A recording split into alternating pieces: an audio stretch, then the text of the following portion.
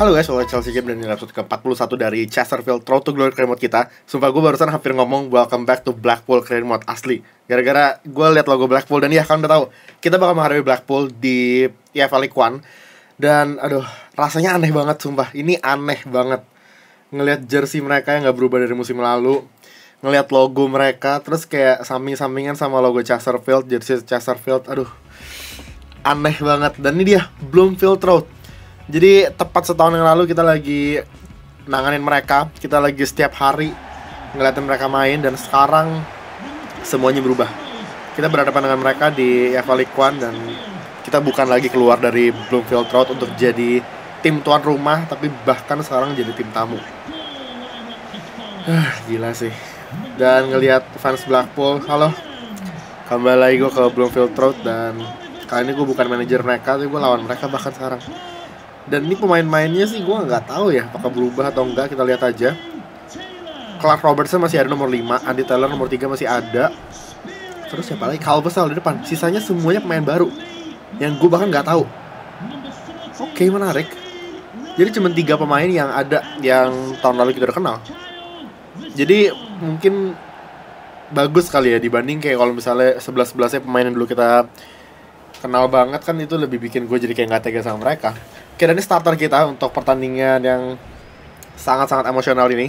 Uh, Fuzair start di depan, Lacroix di belakangnya, Albert Kaiser, Dragovic, Kay, Puhiri, Bina Williams, Maguire, Edgar, dan Lohnar Maya, kiper Simon Thomas. 4-2-3-1 seperti biasa, dan Lele kasih kesempatan buat Fuzair buat start di pertandingan ini. pertandingan Liga. Nah, kemarin kalau perhatiin juga dia penalty shootout di Jakarta Trophy, dia yang bikin kita lolos tuh. Karena dia pendang terakhir kita. Jadi ini striker muda yang baru aja main kayak 3 atau 4 kali buat kita udah luar biasa banget loh impactnya. Fuzair nomor 22 luar biasa. Simon Thomas mengingatkan bahwa kita harus meraih kemenangan pastinya. Siapa pun lawannya mau itu Blackpool dan aduh ini aneh banget gila. Dari Bloomfield Road pertandingan League antara Blackpool juga Chesterfield. Kayak pertama udah dimulai. Eh uh, gila aneh banget. Calvesel dia striker yang Wih, ini mereka langsung nyerang awal-awal. Kaiser, come on. Oke, okay, good job. Lihat pergerakan Kaiser. Melakukan tugas defense dengan baik. Good job. Masih menit keempat sekarang. Bina Williams kasih ke Albert Kaiser. Dragovic. Ya, Fudzayat. Shooting kaki kiri mungkin. Uh, tipis banget tadi. Tendangan dari striker muda kita. Asal Morocco. Andy Taylor. Martin Calvesel sekarang. Martin Kasih ke Taylor offside set. Oke. Okay. Nice. Aduh kangen banget gila sama Taylor. Kapten kita dulu tuh. Almeida. Ini dia Calvesal. Striker yang waduh, true bagus sekat. Shootingnya untung kayak gitu gila, sumpah. Untung bukan Febri hari-hari tuh yang ada di kanan situ. Bisa Febri kan. Dulu. Turton. Calvesal striker nomor punggung 7 andalan kita tahun lalu. Kasih ke tengah dekat dan Simon Thomas gila save bagus banget. Asli kena tiang itu. Oh gila sih. Masih hidup bola. Ryan ke cut kacau sih Simon Thomas save-nya. Blackpool main passing-passing loh ini passing-passing pendek. Main berbahaya. Calvesel waduh play on kata wasit pelanggaran dari Manchester Field. Masih cat berbahaya masuk kotak penalti. Aduh sumpah no woi Oh my god, Thomas lagi-lagi. Gila tuh bener penting banget asli dia ngerebut bola kayak gitu. Oke, masuk menit 46 babak 2 sekarang. Lacroix. Kontrol sangat bagus kasih ke tengah ada Fuzain, Sundul.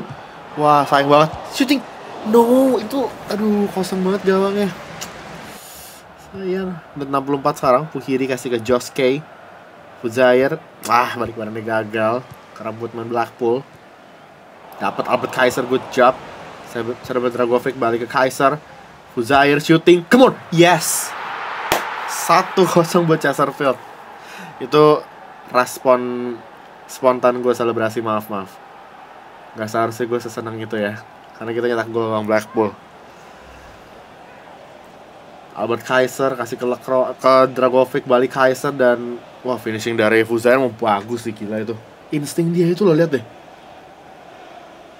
Bagus banget loh asis dari Albert Kaiser tadi. Luar biasa.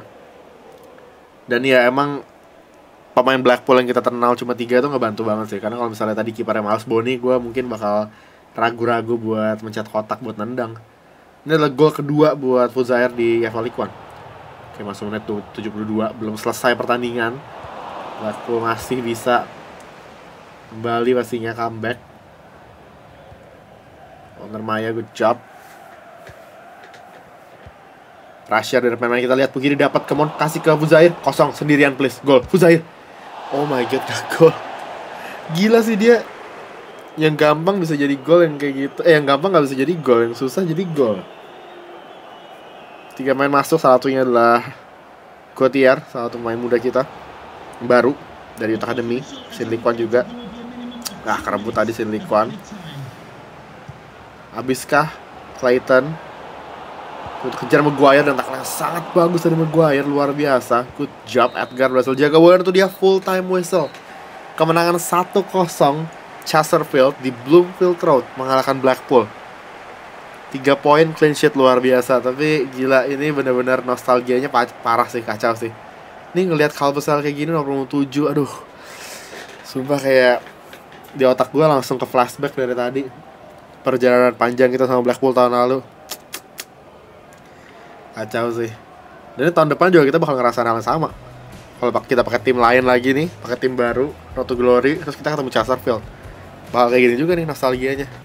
Kacau. Dan ya walaupun Blackpool unggul possession tapi kita unggul dalam hal percobaan gol mereka. Jadi kita bisa dibilang pantas menang. Dan dari satu satu gol tercipta adalah gol yang cukup bagus juga dari Fuzair.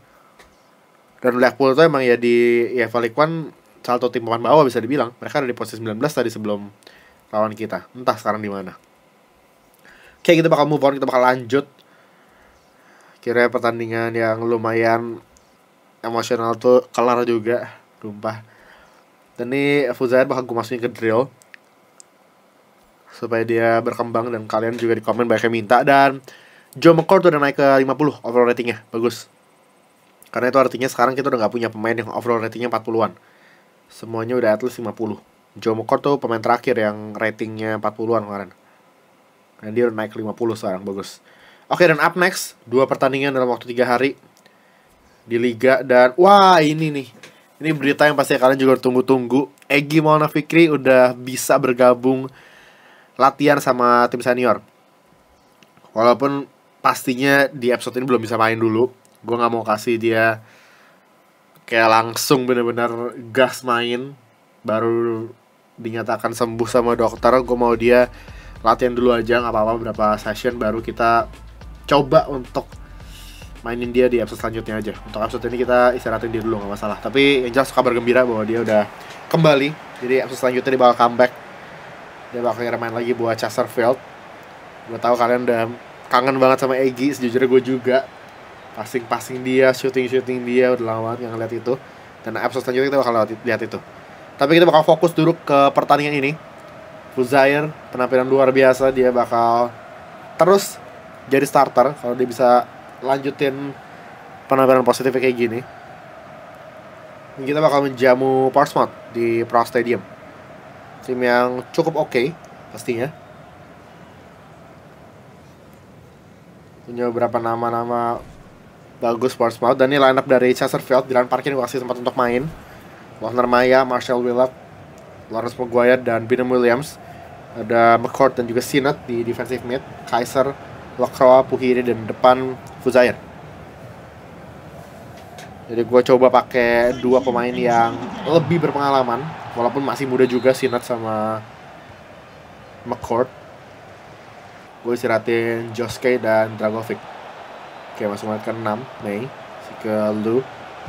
Si ke tengah kosong banget terus. No uh, Untung gak jelek loh. Dibuang sama Bill Williams. Good job.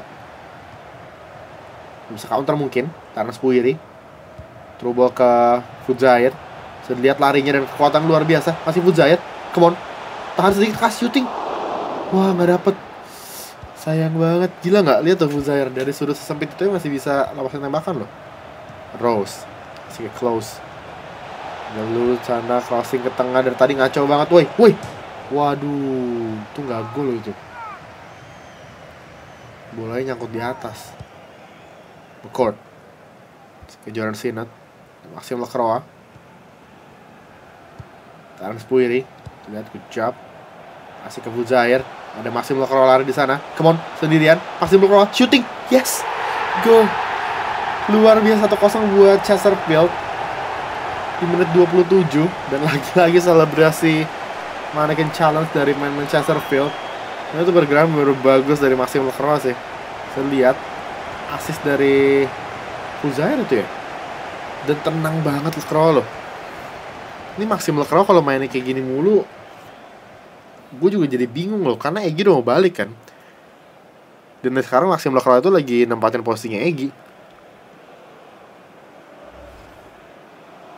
gol keempat dia di EFL League luar biasa.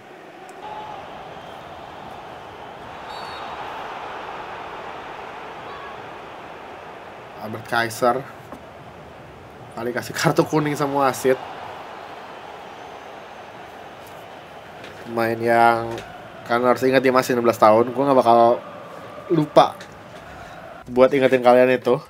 Gue bakal terus ingetin jadi kalau misalnya dia emang kadang-kadang suka emosional terus kayak suka melakukan kata-kata nggak perlu ya itu dimaklumi aja masih muda dia. 7 menit terakhir corner kick buat Portsmouth. Smith kasih ke tengah bahaya ada Clark. Woi kosong banget loh itu buset pemain. Kita harus parkin ya? Ini tapi sedikit ya tadi tuh tiga menit terakhir kita masih gol satu kosong. Rose. Kasih ke Clark Rose dapat bola. Woi bersih kali. Itu bukan bola tadi sini tackle ya bakal balik ke kartu wasit. Kartu kuning lagi. Coba lihat di replay. Oh gak kena bola sih ternyata gue kira kena tadi free kick buat Portsmouth di menit-menit akhir nih ngeri banget sih. Naismith si ke tengah. Bahaya. No no. Astaga. Yang benar aja penalti gila di menit 90 aduh. Gak ngerti lagi gue kartu merah lagi. Iya. Yeah. Ben Williams sign off. Dan mereka dapat penalti di menit 90 aduh sumpah. Dylan Parkin bisakah menggagal penalti ini? On. Ah salah arah. Wah gila sih sumpah. Episode kemarin juga kita kayak gini nih. Harus ada menang kebobolan di menit akhir terus sekarang kejadian lagi. Di menit 90 lawan Portsmouth gila bener-bener loh.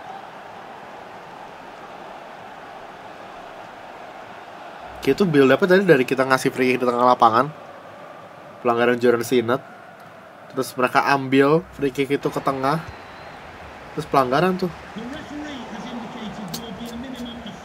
Ini udah gak ada waktu men. Mereka dapat bola, mereka nyerang lagi sekarang. Maguire, tackle bagus. Masih ada kesempatan kah? Rolling Ah elah, sit, sit Itu lagi nyerang loh. Full time whistle kita drop 2 poin gitu aja. Bener-bener kita tinggal hang on, tinggal nahan semenit aja tadi tuh. Dapat tiga poin kita bedanya gila bener-bener loh. Tiga poin sama sekarang itu cuma dapat satu poin. Dari pertandingan Portsmouth kacau banget asli. Aduh gila nih liga bener-bener kacau loh. Kayak kerasnya sih keras loh asli. Kayak musim lalu tuh kita di UEFA League tuh kelihatan gitu dari awal. Kalau misalnya emang nih pemain-pemain udah mulai mainnya nggak jelas kayak emang ada lah. Pasti kan nggak mudah untuk main 40, 46 pertandingan semusim dan konsisten terus tuh nggak nggak bisa kan. Pasti kayak ada aja satu dua pertandingan mereka lagi mager gitu lagi kayak konsisten segala macam. Itu kelihatan. Kita kalah kalau kayak gitu satu seri drop point. Kalau ini tuh nggak di liga sekarang tuh kita main bagus pun kadang-kadang tinggal sisa semenit dua menit nggak konsisten sampai akhirnya itu kayak gitu. Harga yang harus dibayarnya mahal banget. Hilang dua poin kita tadi. Bener-bener harusnya kita tinggal nahan semenit aja tuh tiga poin penuh kita dapat konsentrasi itu benar harus sampai akhir gila gak dan ini pertandingan selanjutnya pertandingan ketiga di episode ini kita lawan Walsall. Tim yang gak jauh di bawah kita. Kita di posisi 8 mereka di posisi 13 kalau nggak salah tadi. Jadi ini bakal cukup sulit. Dan mereka pakai formasi 4-2-3-1 oke mirip kayak kita. Ada Ostumer tuh kayak gue lumayan familiar menamanya nih. Nggak tahu dari Blackpool kayaknya ya Ostumer ya. Dulu kita sering ketemu entahlah gue lupa. Tapi yang jelas kita belum pernah ketemu Walsall kan di series career mode ini kan. Berarti kita belum pernah ketemu Ostumer tapi gue kayak tahu ya pernah dengar tuh nama. Oke ini starter untuk Chesterfield. Thomas kembali ke line up Mesa Pinheiro, right back muda di kanan. Ada Zimopoulos, Maguire, Rezaldi kembali ke lineup juga. Dragovic K juga kembali, Kaiser, Jarolin main di tengah, Sin Likuan start di right wing atau right mid. Dan Goziugu akhirnya kembali jadi starter utama kita untuk pertandingan ini. Ini juga persaingan yang cukup berat antara Ugu dan Fuzair sekarang nih. Ike Ukbo udah jadi pilihan ketiga gila. Kayak kita dapat striker muda yang bener-bener bagus walaupun kayak Ukbo lebih muda daripada Fuzair sih. Ukbo itu masih 19 tahun deh seinget gue Fuzara 20 tahun kan jadi ya kita punya striker muda yang cukup oke okay, ada dua gitu gue sih nggak masalah Ukbo gue bakal kasih kesempatan tenang aja gue nggak bakal jual dia tiba-tiba gitu loh nggak. Oke okay, dari basket stadium pertandingan IF League kontra Walsall juga Chesterfield udah dimulai. Masuk menit keempat. Kostumer dia pemain yang gue sering dengar namanya nomor 10 Morris kasih ke Cavalier. Morris crossing ke tengah berbahaya. Kate Thomas gila tuh main nampar badannya sendiri. Tuh gak dapet. Ostomer lagi-lagi ini main gila loh cepatannya crossing ke tengah dapat list no. Uh kena tiang. Wah gila. Nah, tapi itu emang kena tiang aja. Sundulan dari Jackson nomor 9 pemain mereka. Edwards di sisi kiri lagi-lagi crossing ke tengah. Buang Zima Polos good job. Mereka manfaatin sayap banget loh. Dari tadi mainnya. Rowley Jika Sin Likuan Oke. Okay. Tahan dulu sedikit. Karena sangat bagus. 5 menit terakhir babak pertama Edwards. Lagi-lagi lewat sayap serangan mereka. Lewat Masa Pinheiro Kasih ke Jackson. Woi shooting. Oke untungnya masih bisa diantisipasi dengan mudah sama Simon Thomas. Oke masuk babak 2 Gantian kita nyerang sekarang. Lewat sisi sayap ada Sin Likuan di kanan. Kasih ke tengah Come on. Wah berhasil dibuang kiper mereka. Kozio gue ambil Kasih ke Dragovic. Karena sangat bagus dari Dragovic. Shooting lagi kiri dari Dragovic. Tipis loh itu. Kencang lagi lumayan. Sayang banget. Morris Si kanan Coba kejar Rezaldi Crossing ke tengah. Woi woi ada yang datang. No Waduh untung masih off target tenang dari Edwards. Ngeri juga nih Walsall Ike Ukbo, Carbin, dan Zavon Hans bakal gue masukin di menit 70, sisa 20 menit lagi. Skor masih imbang 0-0. Flanagan. Tengah lapangan. Kasih dia ke Edwards. Waduh pasti masih mereka Ostumer megang bola. Oke dapat Esa Pinheiro good job. Reception bagus bisa ah salah passing lagi. Ostumer waduh trouble ke Edwards sisi kiri. Plus ada yang kejar kayak good job. Zimopoulos woi kena tiang gila clearance Zimopoulos buset dah. Itu nggak masuk gawang sendiri loh itu sih on goal. Gawang kita tuh oh Dragovic dribble bagus banget ke mana masih Dragovic. Dragovic shooting. Aduh ketutup sumpah itu. Paul dribble udah bagus tuh kelamaan juga sih Dragovic tadi. Baru di counter nih kita. No Peter sekarang. Waduh Zabon Hans lewat. Maguire come on kejar please. Jangan kasih ke tengah. Yes good job. Reception bagus. Ah, tunggu ya kebobolan kita di situ. Ukbo berhasil menang udara kasih ke Ayas Karbin. Mon Carbin serangan terakhir kita mungkin di injury time 2 menit kasih ke tengah gagal. Dan itu dia akhir dari pertandingan. Imbang 0-0 gitu tanpa gol asli kacau juga nih. Lagi-lagi kita drop point. Tapi well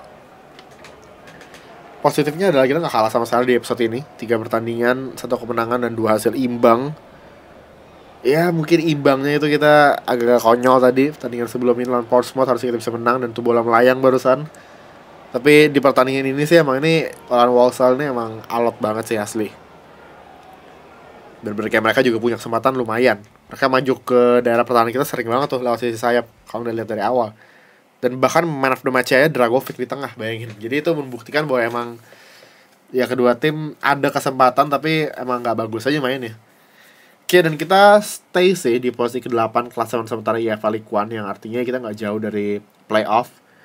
dan mungkin target realistis kita kalau mau promosi bukan automatic promotion tapi playoff yang artinya kita finish di posisi ketiga sampai ke 6 bukan di top 2 karena kita jujur lumayan sulit sih ini. Karena gini loh bukannya gue nggak percaya kemampuan main kita atau gue pesimis ya. Tapi lebih ke tim kita ini butuh waktu untuk berkembang. Untuk mereka bisa main bagus itu butuh waktu. Dan Bradley Barre juga kembali dari cederanya. Ini berita bagus banget. Episode selanjutnya berarti dua pemain penting kita, Egi dan Bradley Barry udah kembali tuh. Jadi iya kita butuh waktu aja. Karena nih isi pemain-pemain kita tuh tim muda semua. Gue lihat kalian atributnya Zaire, nggak bisa lihat. Dia ada beberapa yang nembus 70 curve-nya dia bagus tuh ball control. Dan main-main kayak Zaire gini ya bakal berkembang dalam waktu 6 bulan semusim, dua musim ke depan. Jadi emang nggak mudah, nggak bakal langsung instan dan kita pun juga kan belum datangin pemain yang emang bener-bener bagus dan ini main Academy terbaru kita Gautier main dari Prancis yang juga udah ada statistik beberapa yang bagus curve itu 77 lihat 75 free kick akurasi. Mantep loh ini bisa jadi penendang free kick kita loh. Kidal main Prancis 17 tahun oke okay. menarik. Jadi ya mungkin itu. Kalau mau promosi harus playoff paling realistis. Jangan terlalu muluk-muluk bilang kita finish di top 2 tuh jadi juara bahkan sulit banget bakal. Kira ini overall tertinggi di tim kita saat itu Dylan Parkin sama Egi Maulana Fikri 71 masing-masing. Tadi yang terendah Joe McCourt 50 jadi Dylan Parkin menariknya tuh tertinggi loh overall ratingnya. 71 men. Di usia masih 19 tahun. Dan gue percaya Parkin ini masih bakal jadi kiper yang benar-benar bagus nantinya. Tenang aja walaupun gue sekarang lebih sering kasih kesempatan buat Simon Thomas ya tapi tenang aja Parkin itu tetap gue tau lah kayak dia punya masa depan di klub ini. Dan gue yakin dia bakal berkembang. Dan lihatnya dia pemain dengan overall tertinggi di squad kita saat ini gitu loh. Jadi itu berbicara banyak lah tentang jalan parkir karena tenang aja. Oke jadi itu dia tiga pertandingan yang ya bisa dibilang cukup melelahkan. Karena kita udah nggak bisa lagi tuh kayak tahun lalu di League tuh kita dengan mudahnya ngelewatin tim-tim di liga main gampang menang kiri kanan nyetak gol banyak segala macam nggak bisa lagi di sini men. Ini udah a whole new level dan kita datang harusnya target kita cuman stay gitu loh sebagai tim promosi. Bukannya fight for promotion lagi ke atas. Tapi ya pasti target pribadi gue kan. Dan ya gue butuh kalian untuk tetap support tim ini karena ini tim yang sangat muda tim yang benar-benar berpotensi banget menurut gue ini dibanding Blackpool tahun lalu gue udah sering bilang tim Chesterfield ini punya potensi jauh lebih bagus daripada Blackpool asli.